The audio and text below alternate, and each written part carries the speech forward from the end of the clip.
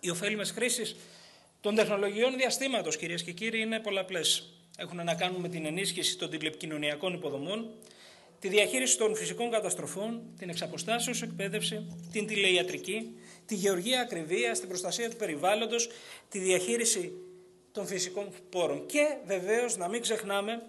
ότι υπάρχουν και οι εφαρμογές στον τομέα της άμυνας, οι οποίες είναι πολλαπλές. Θα ήθελα μέσα από την καρδιά μου να ευχαριστήσω αυτούς τους ανθρώπους οι οποίοι επέδειξαν και αντανακλαστικά στο να υπερασπιστούν την προοπτική συγκρότησης του ελληνικού διαστημικού οργανισμού, αλλά και διέθεσαν την μακρόχρονη πείρα τους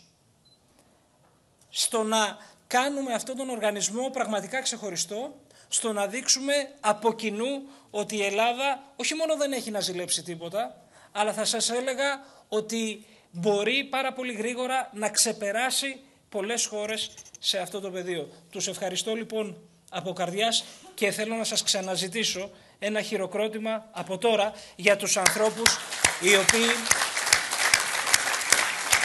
θα αναλάβουν αυτή την ξεχωριστή πραγματικά για τη χώρα μας αποστολή.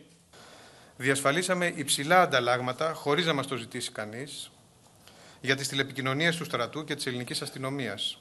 ενώ θα διαθέσουμε τους επιπλέον αναμεταδότες για τις ανάγκες της κοινωνίας, της οικονομίας και πολύ σύντομα και για τη χρηματοδότηση του ελληνικού διαστημικού οργανισμού.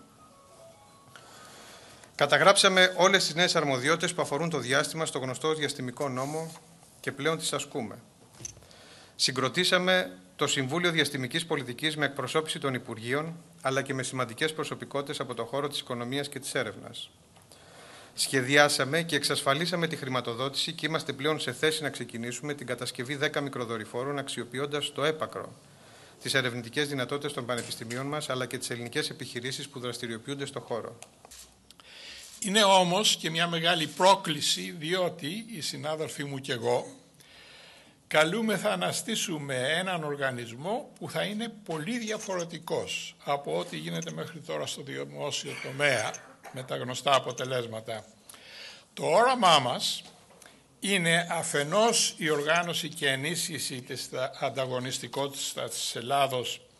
στο δημόσιο και τον ιδιωτικό τομέα και αφετέρου η υποστήριξη των, Ελλήνων, των αναγκών των Ελλήνων πολιτών με την προώθηση της χρήσης τεχνολογιών εχμής. Το Υπουργείο μας θα αναλάβει